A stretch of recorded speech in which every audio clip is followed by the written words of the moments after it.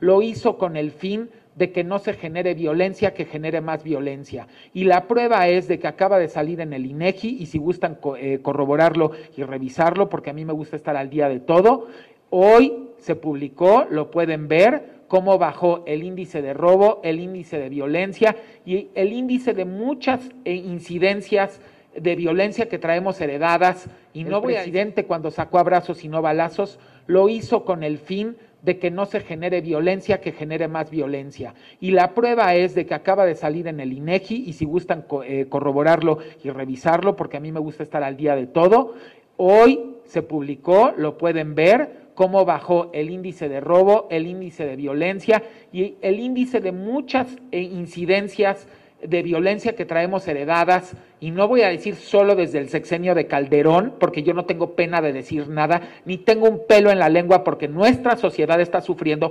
gracias a toda la irresponsabilidad de gobernantes por décadas que se dedicaron a aplastar al pueblo,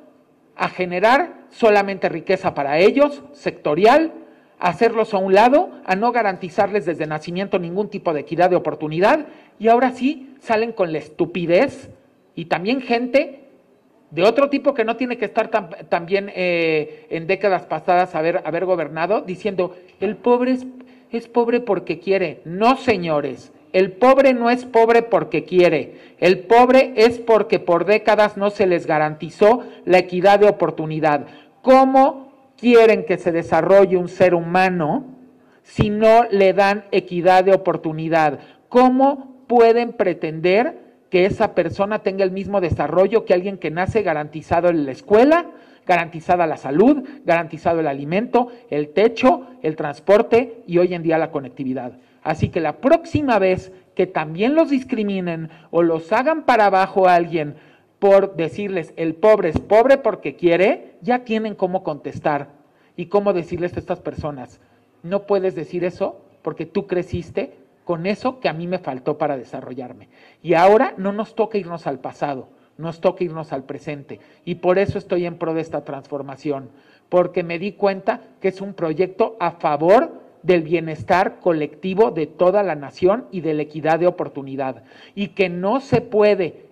apretar un botón después de décadas en un segundo y decir no den programas sociales como ningunean, porque también ningunean a los que reciben programas sociales. Y les dicen maiciados y les dicen morenacos y les dicen un montón de cosas y lo digo con todas sus palabras y sus puntos y sus síes porque no estoy de acuerdo y así a mí me haya tocado crecer con equidad de oportunidad, pues más aún tengo doble responsabilidad de luchar porque todo mundo tenga equidad de oportunidad. Los programas sociales se tienen que dar en un gobierno en el cual llegó el presidente con su, su gabinete, con las legislaturas en una herencia donde no había equidad de oportunidad, donde ya había hasta adultos mayores que ya habían trabajado toda su vida y se les había negado hasta sus prestaciones, se les había negado la oportunidad de poderse retirar dignamente. ¿Cómo quieren que llegue un nuevo gobierno e inmediatamente genere un programa de equidad de oportunidad cuando tienes miles de gentes que ya están en edad avanzada y que les tienes que ayudar con un programa social? Entonces, el camino a seguir es